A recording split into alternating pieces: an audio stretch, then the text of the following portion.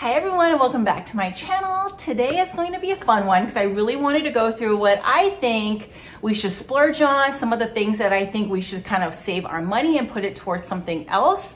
If that's something that interests you, please continue watching. And this is your first time here, thank you so much for stopping by. We love fashion, handbags, luxury, anything contemporary on this channel. I love to go through unboxings, reviews, comparisons, finding alternatives, um, and anything, everything related. If you have a problem like me and you love accessories, handbags, fashion, then please consider subscribing.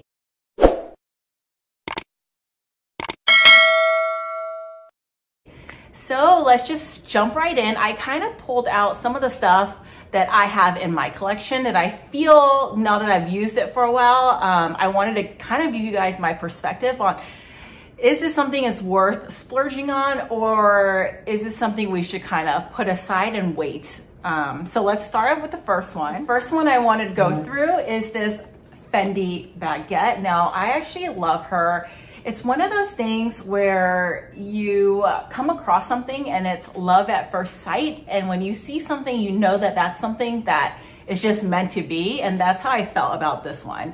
So here's what I think. Do I think it's worth it? I think if it's a love at first sight and you, it speaks to you like how she spoke to me, then yes.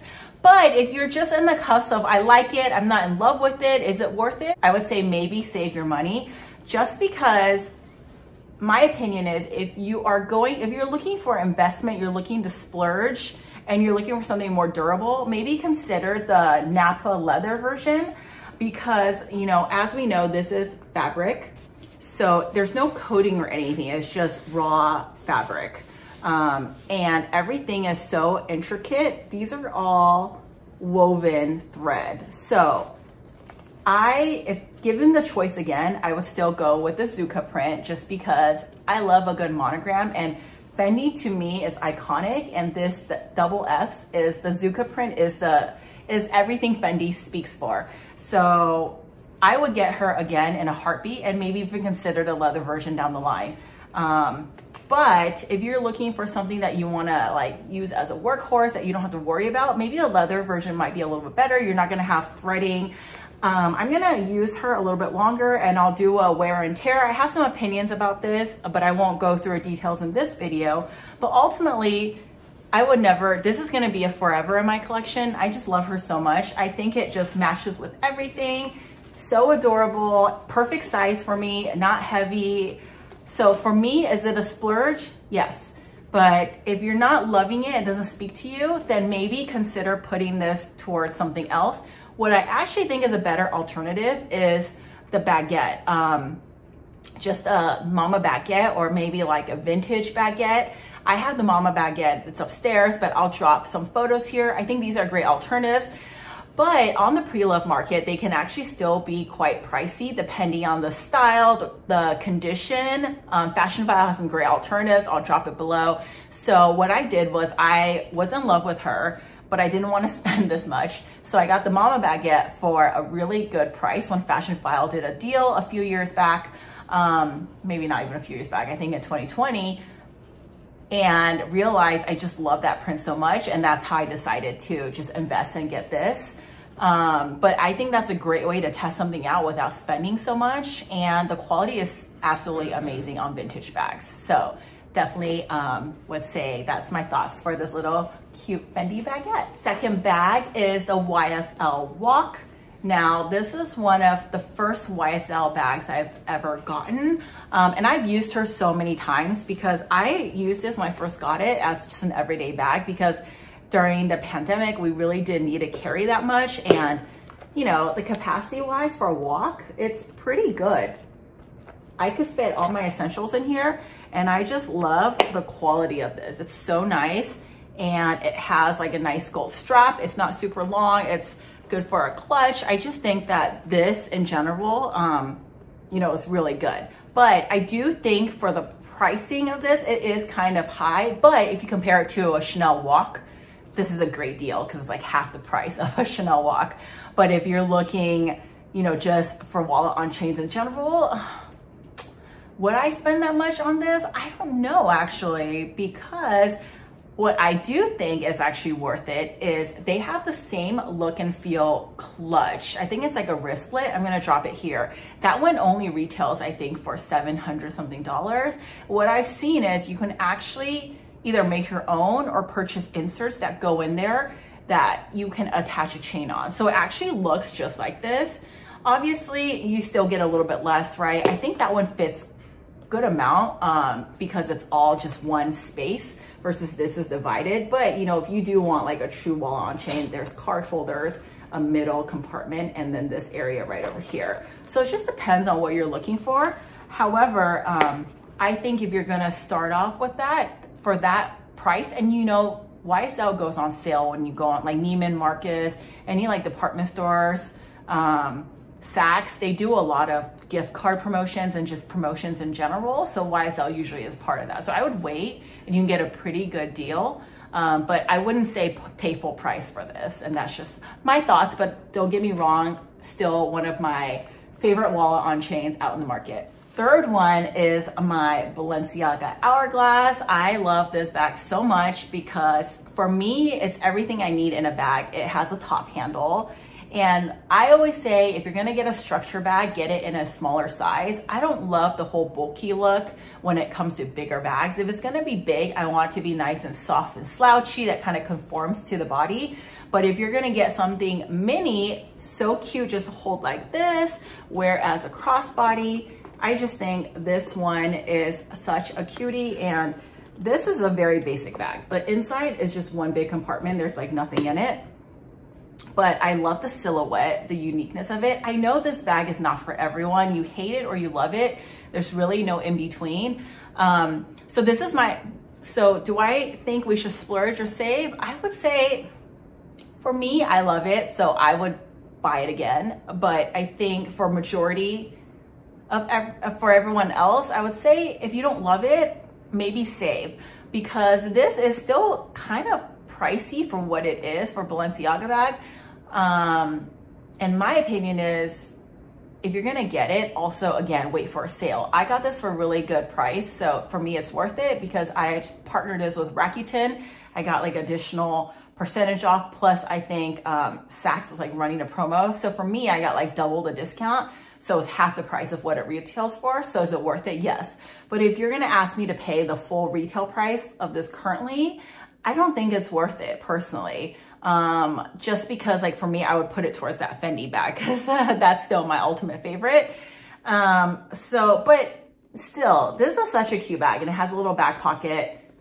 So if you're looking for this bag, I would say get it, but just be patient and wait for a good sale before you, I wouldn't pay full price though, but matches with everything can be dressed up and down such such a cute one okay here she is this is a palm springs mini one of my favorite bags one of the pieces that I usually put a lot of thought in my purchases, I like will watch every review video.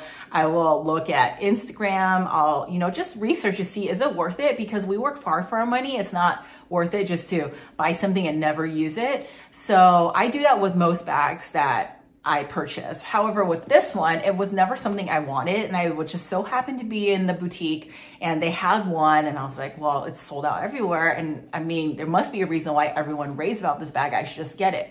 So I did grab her um, on a whim, but so totally worth it. It's one of those things that you don't, you didn't expect to love it, but you do. And I love it because it's just so easy to use. At the end of the day, we want something easy. Um, I don't think of this as a trendy bag because I don't, you could wear as a backpack. I'm not a backpack person. I just wear as a crossbody or just hold it in the um, little handle like this. So I personally really like it. And I think this is a classic in my opinion, because to me, it's just a canvas crossbody. Um, I think it's so cute, the shape of it. Um, I love the way that it opens. So I call it a filing cabinet where I can lay everything like this and just grab out pieces that I need. It comes with, you know, um, a strap so you can make it a backpack or just, I just use a single strap. And I use this strap on other bags too. I think I showed it on my last video I did. I use it on the Toiletry 26. I think it looks really cute and I just think it's worth it. However, I know LV did do a price increase. Was it today? Actually, it might have been today, right? Or maybe it was yesterday And so at the new price, I think it retails for 2000 is it 2050, 20? It's in the 2000 range, a low 2000 range. So is it worth it? Uh, it's hard to say. If you use it every day, yes, because it's one of the best bags in my collection, the easiest bag to use. I do think it's a little steep though. It's just crazy because it used to be, I think this was 1900 not too long ago. And now to see that it's in the 2000s, it's just a little mind boggling. But I guess there's just a way how designer bags work, right? Um, just know that you're, it's gonna go up regardless. And we think 2200 is a lot now, but next year it'll probably be 2600, right? So, um, I'm not saying bags are great investments, but I do believe that if you buy the right bag, not every fashion house, but I think a lot of fashion houses, LV being one, Chanel being the other, and maybe even some other ones, you can always at least get your money back if you choose to sell it in the future. Um, but again, I always say, look on the pre-love market. I was a person that never wanted anything used, always something new. But I feel like the pre-loved market, if you know what you're looking for, you know to find good condition, you can save so much. And it's just at the end of the day, you get the same thing. You just got to know what you're looking for and who you're purchasing from, making sure. And I, I love Fashionphile. So you can find this on there too, but I think that right now on Fashionphile, they actually retail for more than the boutiques because it's hard to find. So I think if you guys can find this, I would say splurge because it's gonna go up in price. And if you don't want it in the future, you can always sell it later. So that's just my opinion on this little bag right here. Okay, fifth bag is, I don't have it up here because it's like in my closet and I have it all stuffed and stuff. I was too lazy to like unstuff and do all that, but it's my Chanel 19. I love that bag. It's um, a bag that I think absolutely is worth the investment. It's easy to use. You can dress it up and down. It's casual. Um, and I don't have the, I have the lamb skin, so it's not the goat skin, so I know it's a little bit more delicate. I was very hesitant when I got that one because as much as I love the way it felt, I was always worried that I was gonna ding it or my nails will scratch and I would just hurt my heart so bad. But I've worn her, I haven't had any issues. Obviously, I'm still a little careful. I don't like to throw it around or set her in like areas where there's a lot of chaos, but I wear her regularly um, and casually and so far so good. I think it's such a good bag. I love the way it looks, the way it wears, the top handle to it. I definitely think that's a splurge. And again, I got that, I think, yeah, 2020 and it was a lot less than what it is today. So again, I feel like if I ever do want to part with her, I could always make my money and probably in a little bit more back. However, I plan to keep her in my collection, but just want to throw it out there. I think it's worth a splurge. Um, and then last bag is my Prada re-edition. And I love, love this bag. And this bag is what really got me I think started watching YouTube videos when it comes to handbags and really made me want to make this channel because I was trying to decide if I want to get this bag. And this bag isn't super expensive. I think, I honestly, my opinion, think it's a good deal for what you get. You get this, the um, statement strap, and you get that little pouch. This is the Saffiano version. I've done many reviews on this. I'll drop everything below. I personally really love this one. I think it's one of my most used. I think absolutely it's worth every penny because you can use it so much. Now, the only downside is Prada is not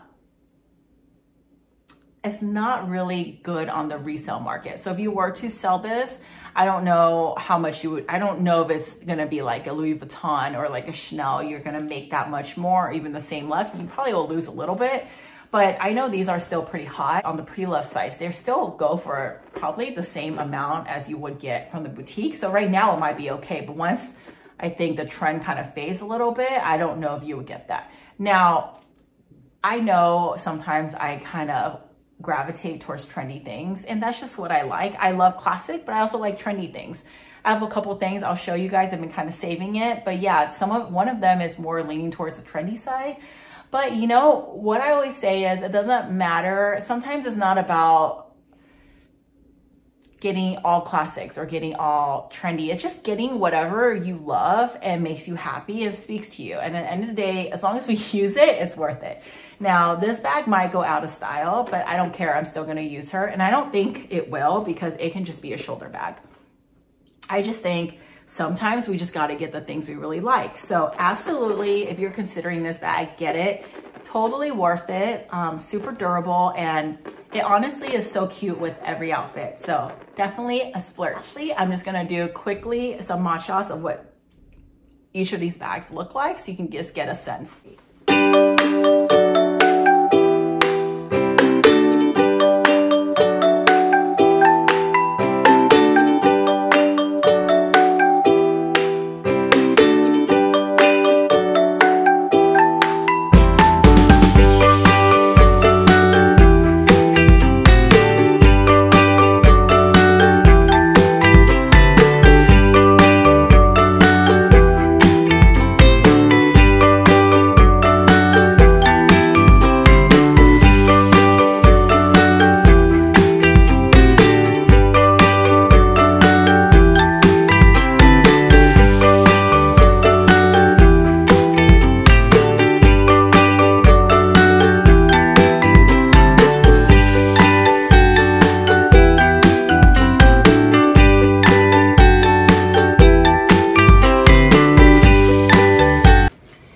That is it, you guys. I just wanted to go through these few bags and what I think is worth a splurge, worth it to kind of save your money for something else.